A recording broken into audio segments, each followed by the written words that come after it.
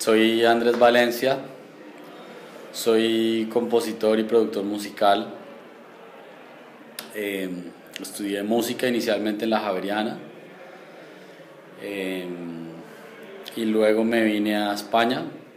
Tras unos años en España, desarrollándome en ámbitos culturales, periodísticos eh, y trabajando muy, haciendo bastante sonido para el gobierno eh, tomo la decisión de irme a hacer una maestría en producción musical en Inglaterra, que es de donde vine recientemente y es un poco el, el momento en el que estoy actualmente.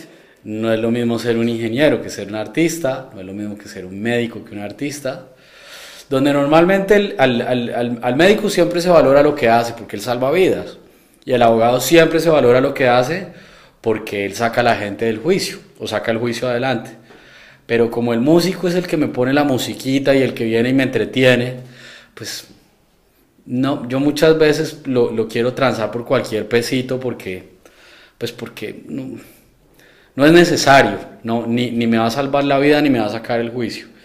Entonces eso, ese tipo de pensamiento que es recurrente y que lo he visto en, en, en muchísimas ocasiones, es algo que es también verdad que, en muchos otros lugares se valora muy bien el trabajo del músico, el trabajo del artista, del pintor, del fotógrafo, pero no, no de la mayoría.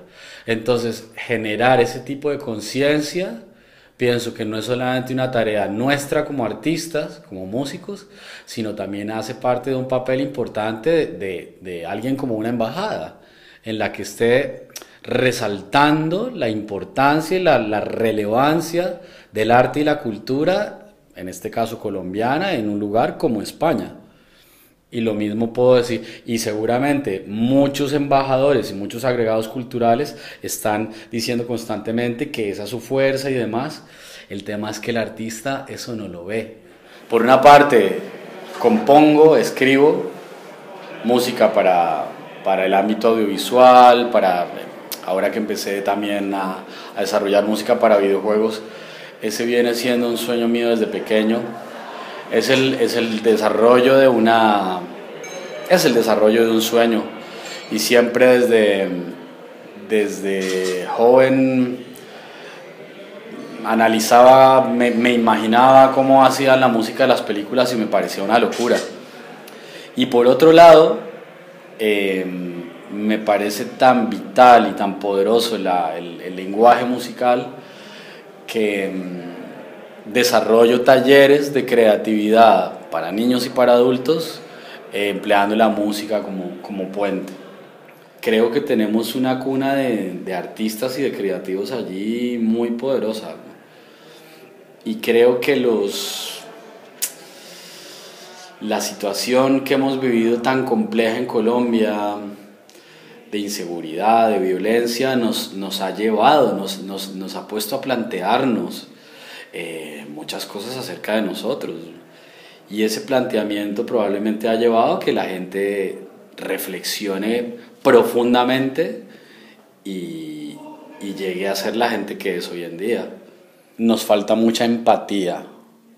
No lo digo solamente de los colombianos en el exterior, lo digo de los colombianos que viven en Colombia y lo digo de los latinoamericanos que viven en Latinoamérica. Yo creo que es muy fácil cuando, cuando uno está en una buena posición, es como lo que pase con los demás me, me da igual. Y, y, hay que ver cuando estás pasando un momento difícil, que todos lo hemos pasado, todos los que hemos estado fuera, hay que ver cuánta gente realmente está dispuesta a implicarte en un, en un proceso de ayuda contigo. Colombia siempre será un eje de, mi vida.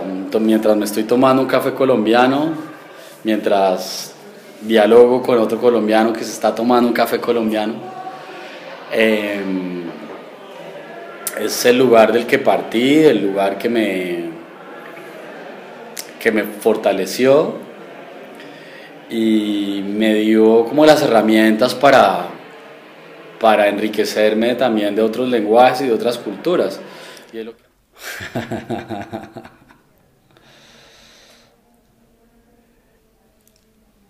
El arte es una reflexión. El arte es, dentro de lo complejo que es poderlo definir, para mí ha implicado a,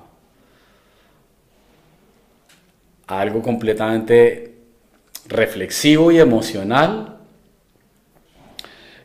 que tiene diversas maneras de expresión y al cual estamos vinculados todos los seres humanos desde pequeños.